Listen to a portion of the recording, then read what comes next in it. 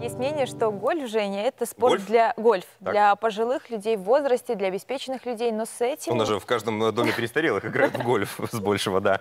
Но многие утверждают, что это миф, и наши сегодняшние гости готовы с этим обязательно поспорить. Итак, нам в студию заглянула Лидия Коткина, руководитель белорусского гольф-клуба. Доброе утро, Лидия. Доброе утро. Доброе утро. Лидия, есть миф, что гольф, э, вообще говорят, что это увлечение, но это же профессиональный спорт. Я, да? насколько знаю, олимпийский вид спорта с Да, недавно. безусловно. У нас есть очень важный а, спорт в Беларуси, и самым важным спортом является и достижениями в мировой культуре – это Олимпийские игры.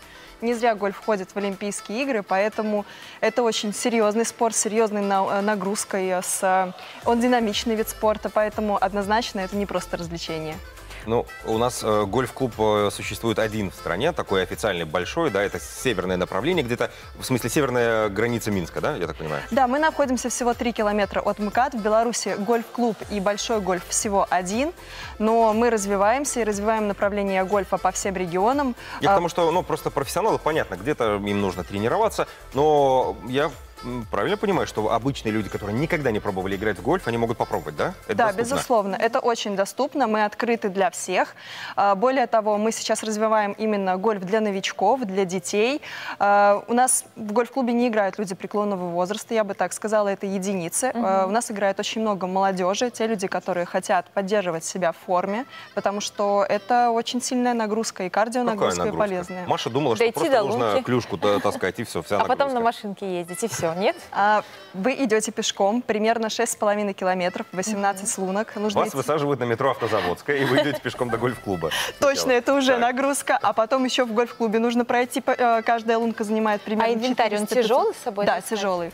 Вы носите примерно с собой около 14 клюшек. Это около А для 10 чего столько? килограмм. И по Какое 400 метров нужно проходить, да? Да, от- и от очень быстро. А зачем 14 ключ- клюшек А, потому что разные виды ударов. Ага. Поскольку разные виды ударов, каждый удар выполняется разной клюшкой. У каждой клюшки свой угол, и она бьет на разное расстояние. Ваша задача новичкам То сделать... есть это не просто красиво, да, разные? Да, и даже новичкам нужно будет носить такое количество. Но можно Интересно. воспользоваться услугами кеди, и кто-то будет носить все за вас. Женя, будешь Маш, я моим тебя возьму с собой. Ты опередила меня. Хорошо. А расскажите, что у нас вообще в принципе с этой сферой в Беларуси, насколько гольф популярен, насколько интересуется, насколько люди просто вот так заезжают. Слушайте, а мы хотим попробовать. Таких много людей? По сравнению с прошлым годом гольф-сообщество выросло более чем в два раза. Я могу э, заявить, что очень много в этом году приехало к нам новичков, и порядка э, 30 человек уже э, даже сдали специальный экзамен и могут играть на других полях э, в разных странах. Э, для Беларуси это большой прорыв. Я думаю, в следующем году будет еще больше людей в гольф-сообществе, потому что Белорусская ассоциация гольфа совместно с нами активно рассказывает людям об этом виде спорта. Не нужно бояться приходить.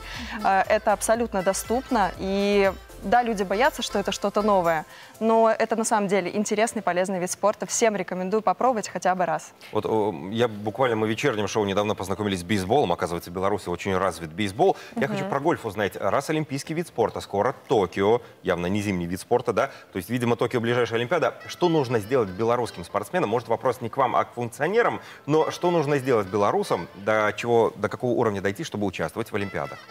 Я могу сказать, что у нас уже много игроков, которые играют на высоком уровне. И в этом году в Белорусской ассоциации гольфа, совместно опять же с нами, была создана даже профессиональная команда из семи человек пока. И мы сейчас активно готовим их а, к международным профессиональным турнирам. Конечно, до Токио мы, возможно, не успеем подготовиться, но в перспективе я надеюсь, что уже через пару лет мы будем участвовать а, в международных профессиональных турнирах. А вот прямо сейчас на вашей базе уже проходят какие-то международные турниры? Да, проходят, но эти все турниры любительские. Мы проводим э, очень много международных э, турниров. Среди наших турниров они занимают треть. Э, это матчевые встречи с различными странами, и они пользуются популярностью. Наши белорусы очень любят участвовать в таких э, э, рода турнирах и мероприятиях. Поэтому я думаю, что будем тоже развивать это направление в дальнейшем все больше и больше. Ну, это лето было дождливым, а, да, хочется спросить, как урожай травы у вас, да, все ли, а, по- позволяет ли нам погода играть в гольф так часто, потому что открытая площадка. Да да? недавно снег, по-моему, выпал. У вас уже сезон закрывается после первого снега, или вы продолжаете играть? После первого снега мы продолжаем играть. Ориентировочно закрытие сезона у нас будет в конце октября, но все Где равно... вы еще успеете попробовать Да, до да, да. конца октября. Но мы играем все равно до первых морозов. Часть поля, когда э, выпадает снег, безусловно, закрывается, но тренировочные зоны Даже тренироваться можно. там уже.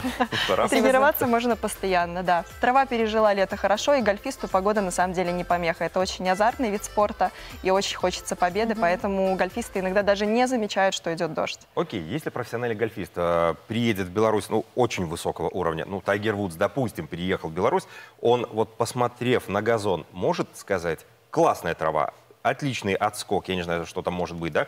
Это можно определить так визуально? Насколько у нас вообще Да. готов э, газон? У нас газон готов. Более того, э, мы участвуем в Европейской ассоциации гольфа и хотим пригласить их к нам, чтобы у нас провести уже какой-нибудь первый профессиональный турнир, потому что наше поле в отличном состоянии. У нас очень сложная архитектура поля, то есть оно интересное. хорошо, да. на нем интересно играть несколько раз. И у нас есть э, уникальная особенность. э, У нас есть лес, природа. Мы Ну, находимся... нужно Да, мы находимся нет? в заказнике, и во многих гольф-клубах, и даже там, где играет Тайгер Вудс, иногда такой природы нет. То есть к нам приезжают иностранцы, и они э, воодушевляются, вдохновляются именно красотой белорусской природы. Тайгер, мы приглашаем тебя. Ждем. Я знаю, ты смотришь нашу программу, мы приглашаем тебя поиграть в Минске. Последний короткий вопрос. А, а, Миф, опять же, есть, суще- существует, что это очень дорогая игра, что дорогая экипировка и так далее. А, Насколько это правда? Вы расскажите, насколько бьет по кошельку такой вид спорта? Я могу привести в сравнении с теннисом, в сравнении с футболом. Если футбол нужны бутсы и мяч, если теннис, э, то нужны, нужен мяч и ракетка. Здесь, в принципе, то же самое. Нужна форма для гольфа достаточно. Если вы начинаете играть, достаточно прийти в удобной спортивной обуви и в брюках. И, Понятно, разумеется... а не новое платье. Это был А, всего лишь повод, очень, Жень. а, существует отдельная мода, и сейчас fashion -индустрия гольфа очень активно Не развивается. Приветствуются платья про и это. юбки. Так.